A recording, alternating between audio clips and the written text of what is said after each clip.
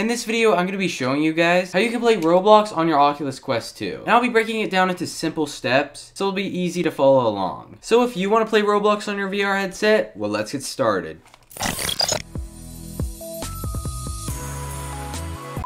Firstly, you're going to need three things before you can play Roblox on VR. Firstly, you'll need an Oculus Quest 2. Wow, Jeff, no way. Secondly, you'll need a PC, so you actually have something to run Roblox off of. Because as it stands now, Roblox does not have its own application on the Oculus Quest store. But make sure to subscribe because as soon as that comes out, I'll be making a ton of videos on it. And lastly, you're going to need a USB-C cable. So the first thing that we're going to go ahead and do is we're going to go to the Oculus website and download the Quest 2 app for our PC. And once you press this, it will go ahead and download it, and you just want to go ahead and set it up. The process is super simple. And once you download it, this should be what it looks like. And then what you want to go ahead and do is go down to settings. You want to go ahead and go to general, and then you're going to go to unknown sources, and then you're going to go ahead and check this. Then just go ahead and press allow. And this is so that we can get Roblox to run through this program into our VR headset. And the next thing we want to do is we want to plug our USB-C cable into our computer. If you do have a USB 3.0 port, the ports with the blue in them, definitely plug your headset into those. But if you only have a normal USB port, you can still use that and it should work fine. And the next thing you want to do is put on your VR headset. And take your USB-C cable and plug it into your Oculus Quest 2.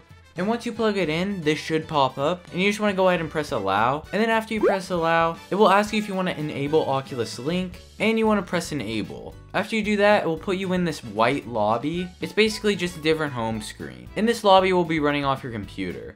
After you do that, you want to go to the Roblox website, and then just go to any VR compatible Roblox game. My favorite is personally VR Hands. There's just so much to do in this game, and it's pretty fun. I'll have it linked in the description down below if you want to go play it. And what you want to go ahead and do is just press the play button, Go ahead and press open Roblox and put on your VR headset and you're ready to go. Trust me guys, this game is super fun. And then you can go ahead and do whatever you want. Just make sure not to go and do anything super cringe.